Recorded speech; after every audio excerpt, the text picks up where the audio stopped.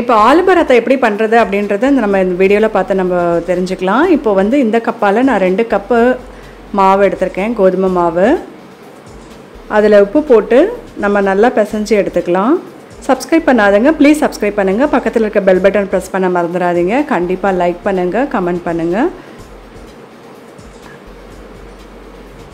குட்டியும் பிசையணும் அப்படின்னு சொல்லிட்டு பக்கத்தில் கை கொண்டு வரான். ஸோ இது நிறைய எப்படி பிசையணும் அப்படின்ட்டு நிறைய வீடியோவில் நான் சொல்லியிருக்கேன். சப்பாத்தி பூரி ஹோட்டல் ஸ்டைல் பூரி எப்படி ஃப்ளஃபி பூரி எப்படி பண்ணணும் அப்படின்றதையும் நான் சொல்லியிருக்கேன். அதனுடைய லிங்க்ஸ்லாம் உங்களுக்கு டிஸ்கிரிப்ஷன் பாக்ஸில் போட்டு விடுறேன். ஸோ இந்த மாதிரி நல்லா நீங்கள் பிசைஞ்சுக்கணும்.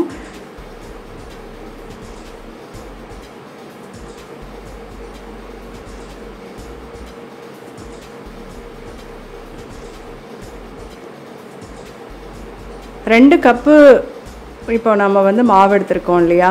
ஸோ அதுக்கு வந்து எப்படியும் ஒரு முக்கால் கப் அளவுக்கு தான் தண்ணி தேவைப்படும். நீங்கள் பார்த்து அதுக்கு தகுந்த மாதிரி நீங்கள் விட்டு பிசைஞ்சுக்கோங்க. இப்போ இந்த மாதிரி பிசைஞ்சாச்சு. இந்த உருண்டைங்களாம் இருக்குது அதை அதை நம்ம வந்து தனியாக வச்சிடலாம். இப்போ ஃபஸ்ட்டு ஆலு பராத்தா பண்ணுறதுக்கு நான் கொஞ்சம் வெங்காயம் தக்காளி போட்டு உங்களுக்கு இப்போ நான் பண்ணி காமிக்கிறேன். வெங்காயம் தக்காளியை நல்லா இப்படி விழுதாக நீங்கள் வந்து அரைச்சிக்கோங்க. அரைச்சிட்டு நீங்கள் வதக்கி பண்ணிங்கன்னா ரொம்ப டேஸ்டியாக நல்லாயிருக்கும் இல்லாட்டி நார்மலாக இதுலேயே வந்து காரம்லாம் போட்டு அப்படியே நம்ம வந்து ஆலு பராத்தா பண்ணுவோம். ஆனால் இந்த மாதிரி நீங்கள் பண்ணி பாருங்கள் கொஞ்சம் எண்ணெய் போட்டு கொஞ்சம் ஜீரகம் போடுறேன் நான். அப்புறம் கொஞ்சம் இஞ்சி பூண்டு விழுது. ஸோ இந்த மாதிரி ஒரு தடவை நீங்கள் ட்ரை பண்ணி பாருங்கள் ரொம்ப டேஸ்டியாக நல்லாயிருக்கும் இப்போ அரைச்ச விழுதை வந்து இதில் வந்து நம்ம சேர்த்துட்டுலாம்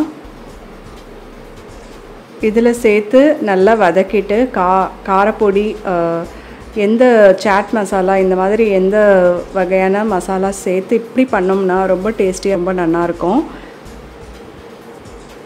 இப்போ வந்து கரம் மசாலா கொஞ்சம். அதுக்கப்புறம் இது வந்து நான் ரெண்டுமே சேர்த்து போட்டு அரைச்ச பொடி இது. வரமிளகா தனியா. நீங்கள் தனித்தனியாக நீங்கள் வந்து போட்டுக்கலாம். இது கரம் மசாலா. கொஞ்சம் மஞ்ச மஞ்சத்தூள் கரம் மசாலா இல்லை சாட் மசாலா எது வச்சுருந்தாலும் நீங்கள் வந்து போட்டுக்கோங்க. இப்போ தேவையான அளவு அந்த சில்லி பவுடர் தனியா பவுடர் சேர்த்த பவுடர் நான் வந்து போடுறேன்.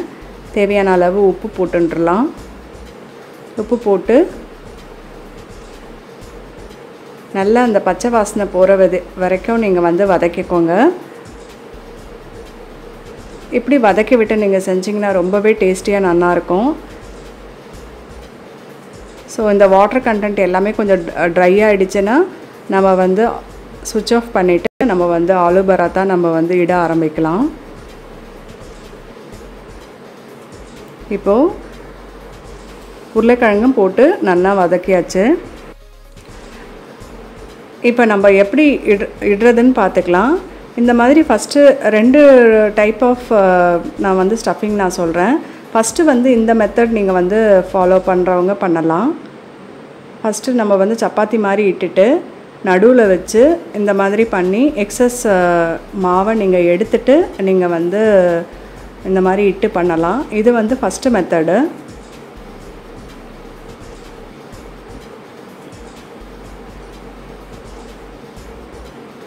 ஸோ கொஞ்சமாக ட்ரை மாவு நீங்கள் போட்டு நீங்கள் பண்ணிங்கன்னா உங்களுக்கு நல்லா இடுறதுக்கு வரும்.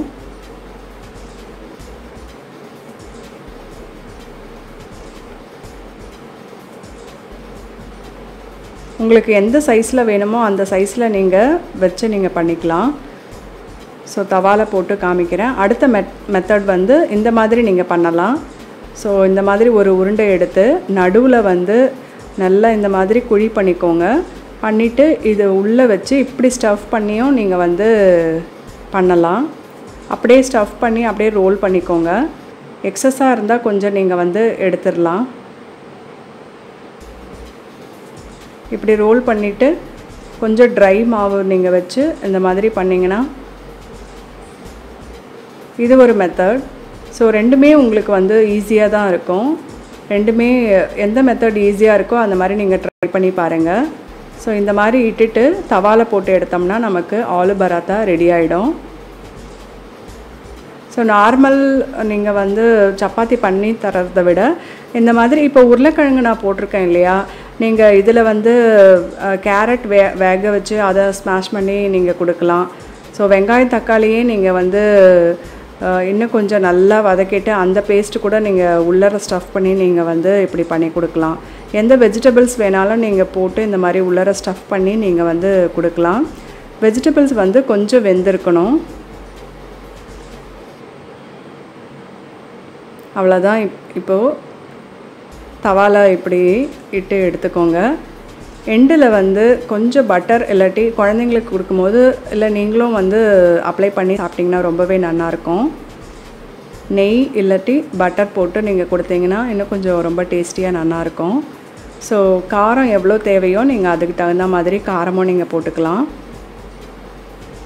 ஸோ இந்த மாதிரி ஒரு ஸ்டஃப்ட் பராத்தா நீங்கள் வந்து பண்ணி பாருங்கள் ரொம்ப டேஸ்டியாக ரொம்ப நல்லாயிருக்கும் இதே மாதிரி பண்ணி பார்த்துட்டு உங்களுடைய ரிவ்யூஸ் அண்ட் கமெண்ட்ஸ் எனக்கு போஸ்ட் பண்ணுங்கள் கண்டிப்பாக லைக் பண்ண மறந்துடாதீங்க. கமெண்ட்டும் பண்ணுங்கள் நெக்ஸ்ட் வீடியோவில் நான் உங்களை வந்து நான் சந்திக்கிறேன். Thank you very much.